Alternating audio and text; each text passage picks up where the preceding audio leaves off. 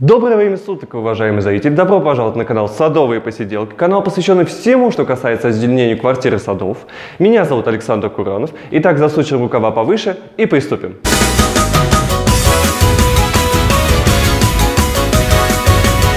Сегодняшней гостьей нашей садовой вечеринки является госпожа Франжипани, уроженка Таиланда, Вьетнама и других стран дальнего зарубежья с подобным климатом. А Франжипани – это не единственное название. Большинство цветоводов-любителей знают ее как плюмерия. Плюмерия – это вид дерева, цветущего дерева, который цветет обычно ранней весной, после зимы, а, в наших условиях плюмей, как вы видите, тоже цветет, но ей нужно очень много солнца и тепла.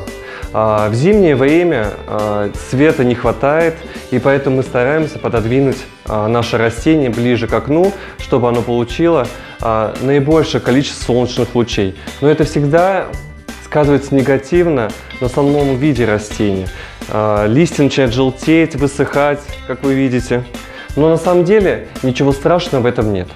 А плюмея в своих э, местах произрастания на зиму в основном скидывает все листья и оставляет только а, чистый ствол и только на нем выпускает цветоносы. Секрет, секрет плюмеи заключается в том, что плюмеи не ветвится после соески, а ветвление происходит только после отцветания цветов. Если вы посмотрите на это растение, то что э, цветок еще не отцвел, а ствол уже начал выпускать молодые свежие побеги. А, на самом деле, мое растение я привез из Вьетнама, сам лично срезал, а, пока никто не видит, потому что все-таки а, срез растений на территории отелей смотрится очень странно и думаю, что это запрещено.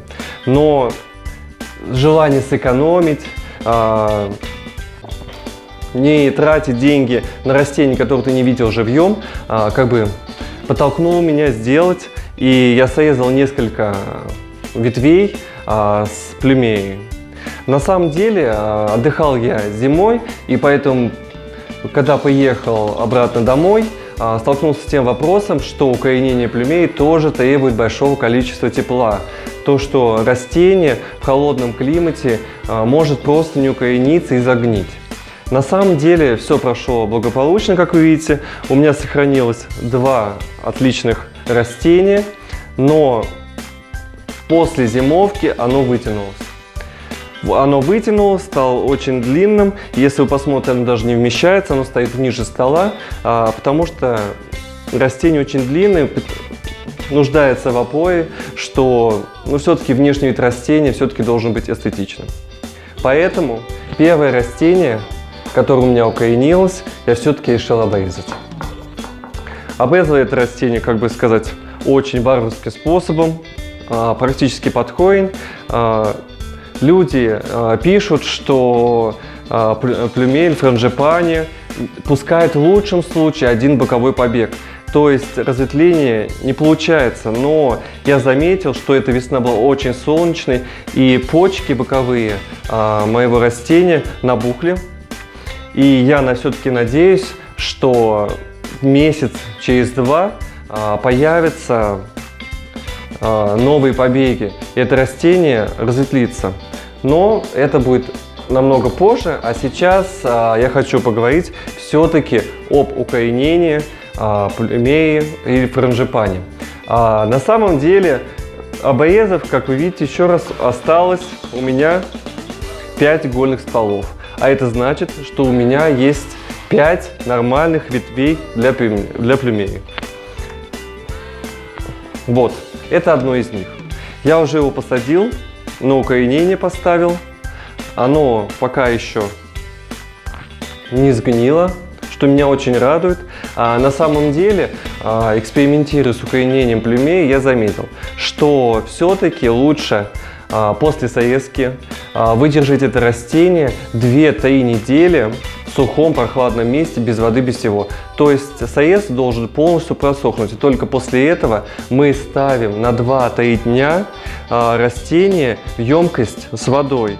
И при этом мы а, добавляем все-таки для улучшения корнеобразования любой корневин. Вот я использую этот корневин, а, вы можете использовать любой доступный а, в ваших магазинах корневин. Только после этого, когда растение а, простоит в воде более 2-3 суток, тогда мы приступаем все-таки к его укоренению. Для того, чтобы растение укоренилось, я использую обычную пластиковую бутылку полтора-литровую из-под воды. Обрезаем верхушку и у нас остается от, очень отличная емкость для того, чтобы посадить наше растение. А, когда вы заказываете в интернете а, ствол э, франжипани, а, вам обычно присылают уже нормальной длины 40-50 сантиметровый ствол. Но если вы сами захотите срезать, допустим, побывая где-то в южных странах, в Таиланде и в других подобных, вам нужно знать, что ствол для укоренения должен быть от 40-50 сантиметров, но не больше. И вот видите, это молодой ствол, он еще зеленый. Для того, чтобы растение укоренилось, ствол все-таки должен уже немножко потемнеть, чтобы укоренение прошло успешно. Итак, вы срезаете, будьте очень осторожны, потому что при срезке э, франжипани выделяет очень много сока липкого на ощупь, и он очень ядовит, прилипает портит вещи, а, падает на стол, если вы не вытаите, тоже остаются пятна, он сильно очень въедается. И еще раз, он очень ядовит, потому что даже если, допустим, я отломаю лист, вот, а, не знаю, видно, не видно, но а, появляется на срезе очень много вот этого белого сока, который течет и течет и течет бесконечно. И нужно быть очень осторожным. После срезки вы промываете э, ствол э, франжипани под проточной водой, пока не прекратится соковыделение. Вот только после этого кладете э, в прохладное, можно даже теплое, но сухое место, темное, для того, чтобы он отлежался, э, как я уже повторюсь, 2-3 недели. И только после этого нужно приступить к укоренению. Когда вы будете срезать, обязательно обратите внимание на то, что э, если вы срезаете растение, которое имеет разветвление, значит оно уже цвело. Если, как, как в моем случае, э, стоит просто прямая палка, значит это растение еще не цвело, и значит разветвление ждать вам придется очень долго. Э, потому что неизвестно, когда в ваших условиях оно зацветет. И все-таки лучше, даже когда вы покупаете, смотреть разветвленные а, рогатки, а, тройные, двойные разветвления, потому что это будут наши новые ветки, растение будет более кустистым, вот как в моем случае. А, растение цвело уже после среза ствола, цветоносные почки уже были заложены, и поэтому после цветения растение выпустило два ствола. Это очень важный факт, потому что всегда нужно определять, а, какое растение вы, допустим, покупаете, оно цвело, не цвело, а, потому что выращено семенами, а, оно зацветает на 4-5 год после прорастания, и все-таки хочется, чтобы оно было быстрее, потому что после срезки растение может цвести на первый-второй год. Итак, для того, чтобы нам хорошо укоренить, я еще раз повторюсь, нам понадобится емкость, потом нам понадобится дренаж. Я использую либо э, керамзит, который продается в любых магазинах, либо покупая специальные камни, они более тяжелые и труднее перевернуть а, нашу емкость с посаженным растением на пол, если есть у вас домашние животные, они не смахнут. Потому что при укоренении а, корни франджипани очень тонкие, очень ломкие, и они могут легко сломаться, если растение упадет. А, после этого нам понадобится еще песок, я вот, допустим, покупаю специально очень мелкий песок а, для шиншилл в зоомагазинах. И нам понадобится земля. Смешиваем землю а, с песком. А, примерно в пропорциях 1 к 2, потому что земля должна быть очень рассыпчатая. Землю я покупаю обычно для всех э, садовых культур, для цветочных. Э, разницы в земле практически нет. А в интернете очень много пишут, что а, при укоренении важна многослойность, но как опыт показывает, многослойность не нужна. Самое главное, чтобы были теплые условия и не было сквозняков, и почва не закисала. Поливать нужно очень осторожно. А, после того, как вы наполните сначала емкость дренажем. Дренаж обязательно, даже если вы не делаете дренажное отверстие. Я, допустим, дренажное отверстие не делаю, сразу засыпаю слой дренажа. Но тут его очень плохо видно, но эта часть вот примерно а, занимает дренажный слой. Потом вы засыпаете землю. Обязательно земля должна быть смочена. То есть вы берете пульверизатор, когда мешаете землю с песком, смачиваете из пульверизатора а, эту землю. Потому что потом вам будет легче ее поливать и земля не пересыхает. А, после того, как вы наполните емкость землей, а, берете ваш а, росток франжипани и засовываете примерно на 20-15 сантиметров. Ну, у меня больше, потому что росток был очень длинный, и поэтому примерно вот это расстояние занимает он. Засовываете прям землю, утрамбовываете и поливаете.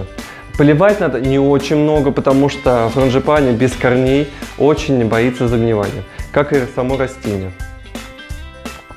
А, после того, как вы полили, ставите на светлое, теплое место. Желательно укоренять все-таки весной, либо в начале лета, когда очень много солнца и тепла, потому что в зимнее время требуется все-таки а, подогрев а, горшка и самого растения. После того, как растение укоренится, вы увидите, чем удобно прозрачные емкости, вы увидите мелкие белые корешки а, внутри горшка. Но не торопитесь пересаживать.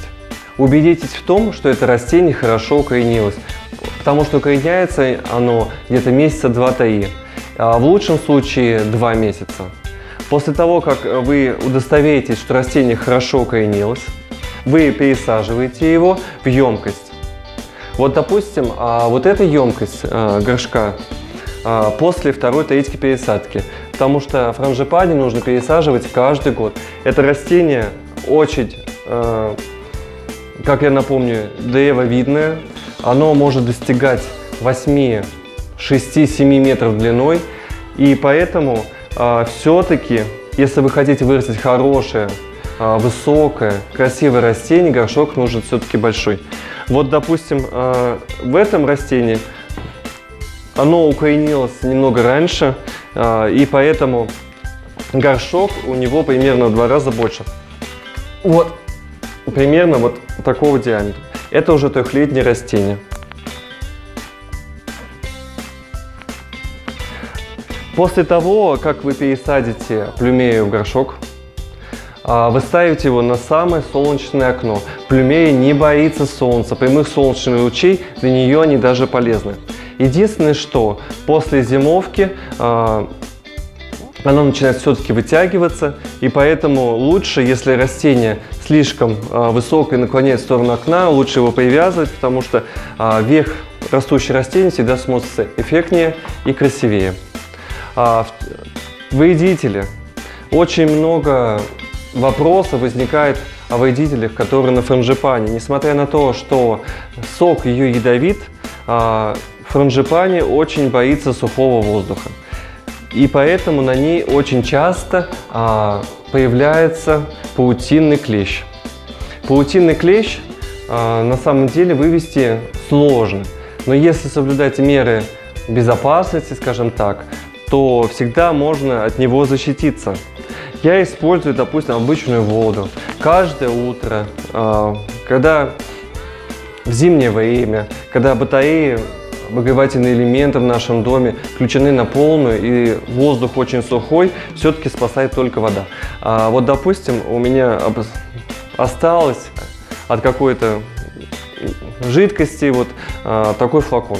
Наполняем его водой с распылителем утром и вечером спокойно распыляем на растение от верхушек и вниз.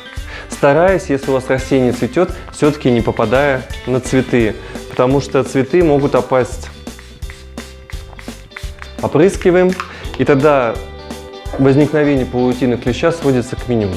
Если все-таки паутинный клещ а, у вас завелся, не паникуйте. А, также можно опрыскивать растения водой, но чаще. Паутина клещ боится влажности.